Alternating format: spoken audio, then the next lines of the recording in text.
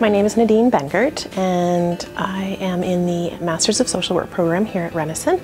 This program is unique because it is online, so you have that flexibility and you can do the work when you need to do it and you can um, work other obligations and responsibilities into your school life and maintain a balance, which is, is a really important and really key element to success. A lot of social work is tied to health. In fact, I think the connection is, is inherent and so I wanted to make sure that I was getting the education that I needed to move forward into a healthcare position and I recently was hired in a primary healthcare facility uh, based on this degree. My cover letter read that I was in a one-of-a-kind, health-oriented uh, Masters of Social Work program and that phrase was a catchphrase for them.